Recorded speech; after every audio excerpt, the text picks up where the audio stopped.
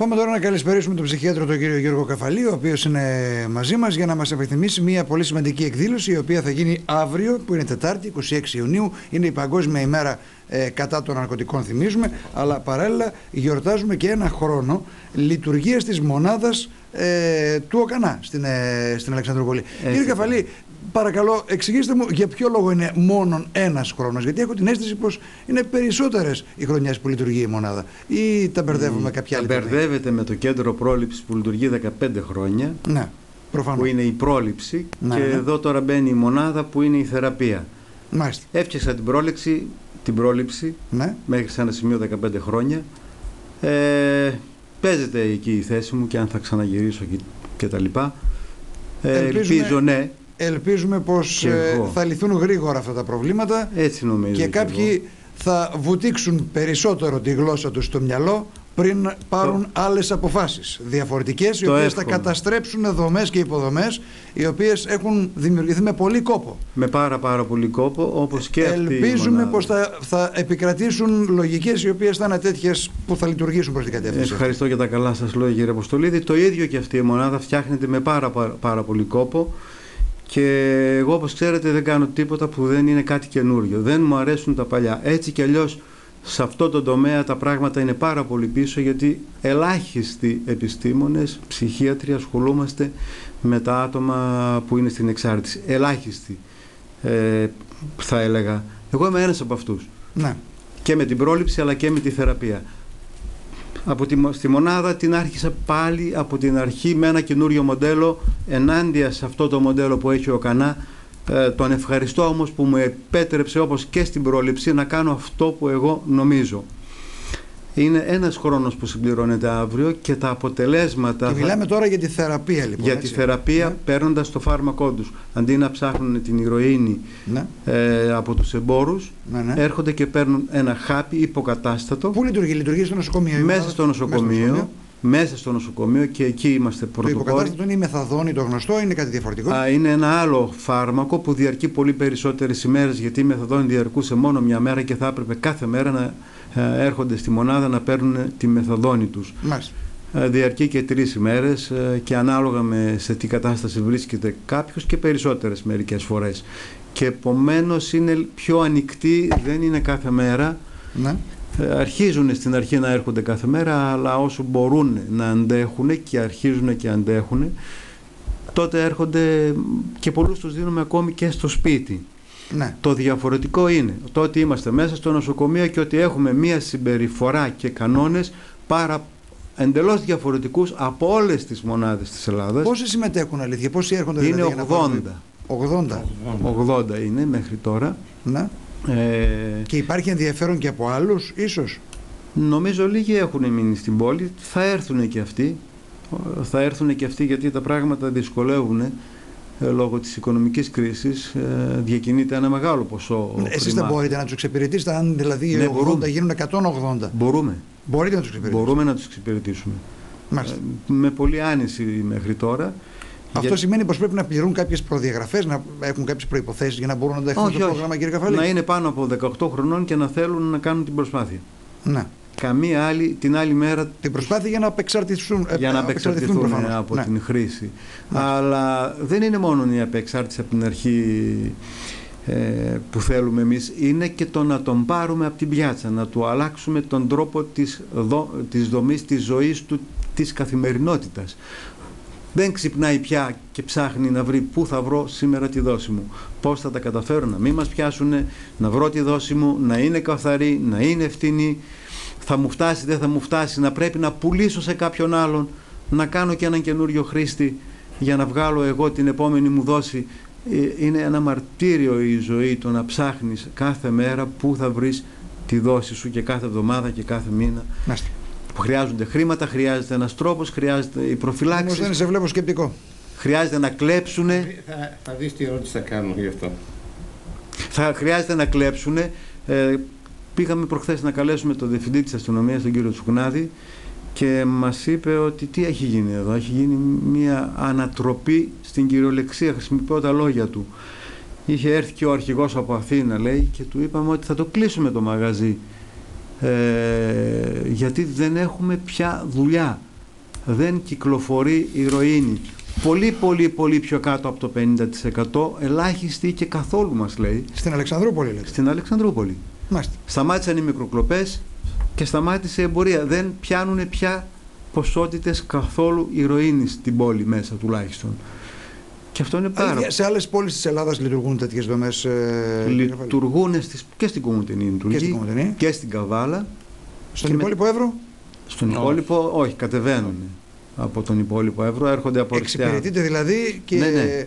Ε, άτομα τα οποία έχουν εξαρτήσεις από, τον υπόλοιπη, από την υπόλοιπη από όλο τον Εύρο. Εύρο. Μάλιστα. Μέχρι και από την τελιά που είναι στο πιο πάνω σημείο του Εύρου. Ε, Δημοσθένη, έχουμε... περιμένω να ακούσω την ερώτησή σου. Λοιπόν, επειδή κύριε Γαφαλιάβρου είναι η Παγκόσμια Μέρα κατά των Ναρκωτικών. Να πω κάτι, είναι η νύχτα. Αυτή τη φορά δεν είναι μέρα, είναι νύχτα. Μέρα και νύχτα, ό,τι θέλετε. Εγώ το θα δείτε ποιο είναι. Ε, Αυτές οι επέτειοι πρώτα δεν, δεν με ενδιαφέρουν έτσι. Ε, αλλά, πάση περιπτώσει, αφού θεσπίστηκαν από την κοινωνία, από τους φορείς, άντε να πούμε και Παγκόσμια Μέρα κατά των Ναρκωτικών, την άλλη μέρα κατά της πείνας, την άλλη κατά του ρατσισμού. Με πάση περιπτώσει, να απενεχοποιήσουμε Ακριβώς. Λειτουργεί απανοχοποιητικά η μέρα. Να απανοχοποιήσουμε ότι άλλο το καθήκον μας το άλλο. Ναι, ναι, ναι. Λοιπόν, εν πάση περιπτώσει, τώρα να αποταχθούμε και στους κανόνες. Αλλά εγώ το ερώτημα που θα κάνω είναι ένα και μοναδικό.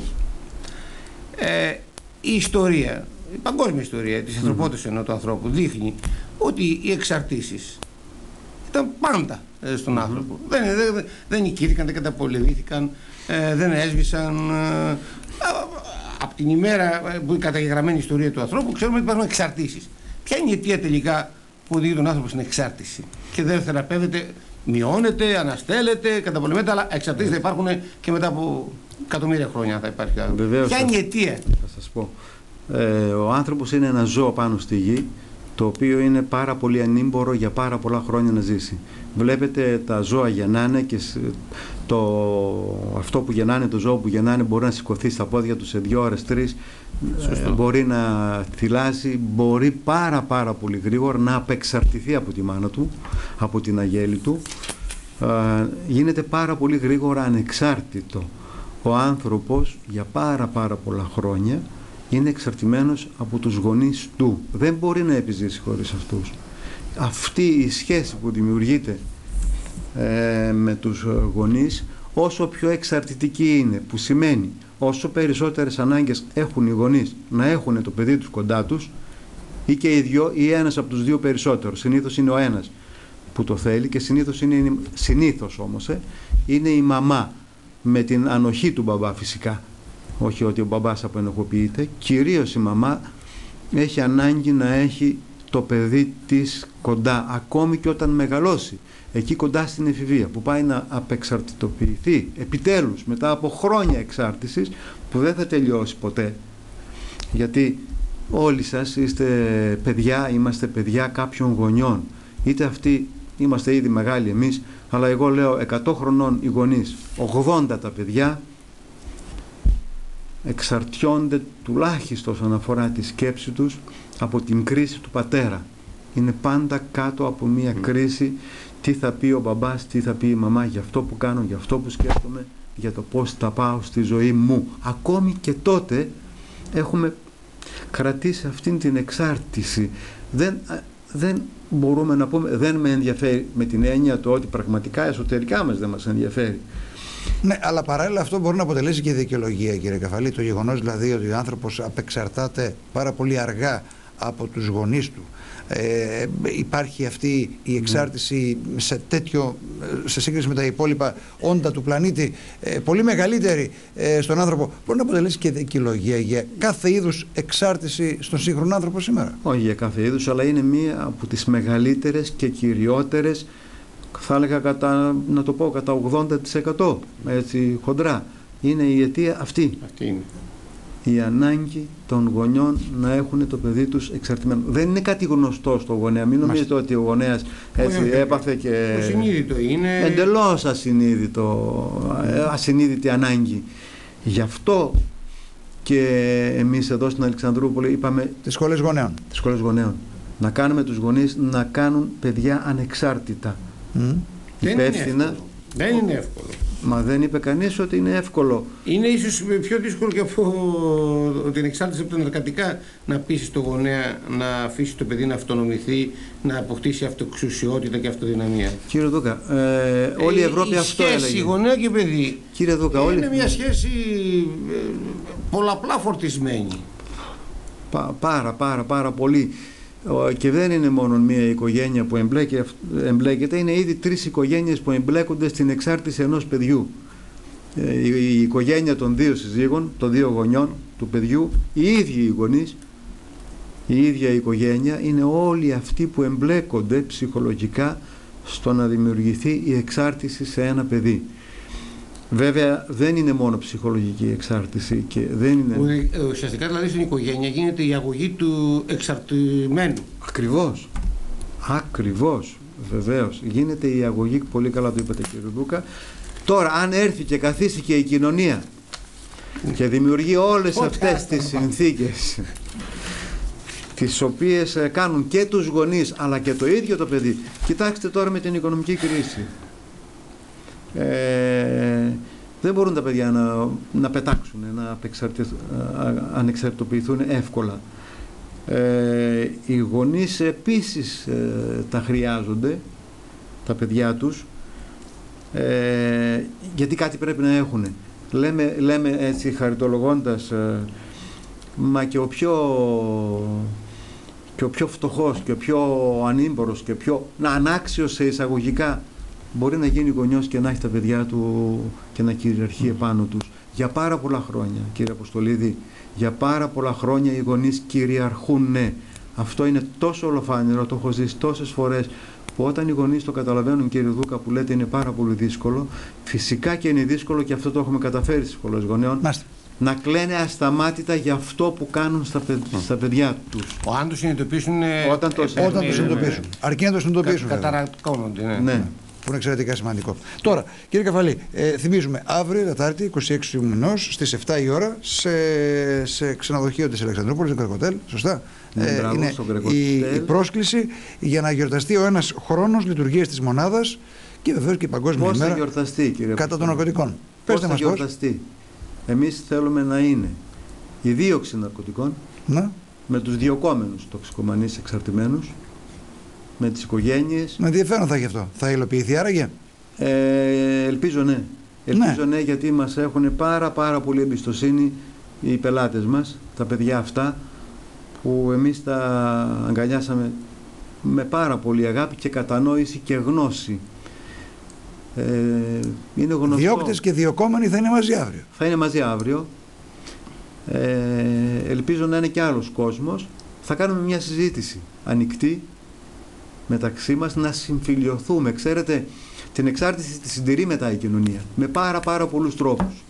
Δες Δημοσθένη πόσο όμορφο ακούγεται αυτό και πόσο εντυπωσιακό εάν επιτευχθεί τελικά. Νομίζω πως θα είναι εξαιρετικά πρωτότυπο Παγκόσμια... και πολύ χρήσιμο.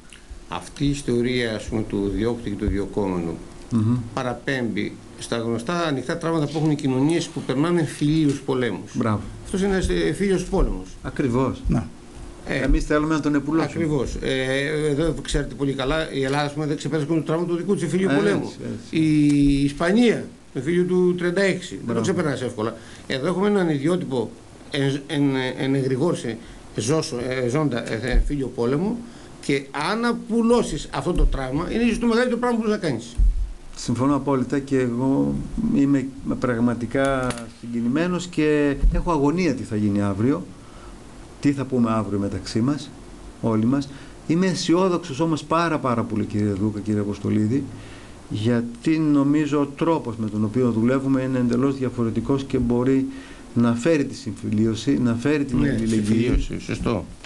Ε, είναι ο τρόπος ε, συνεργασίας και με τους πελάτες μας. Σας λέω ενδιαφέρουμε πάρα πολύ σε όλους τους κανόνες. Οι μονάδες έχουν αυστηρότατους κανόνες σαν την κοινωνία.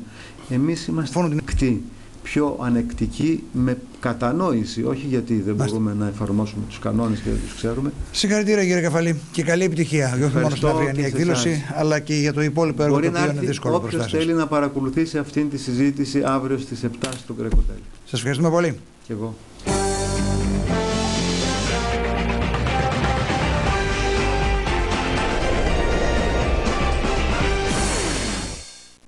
Μία προσφορά της WIND.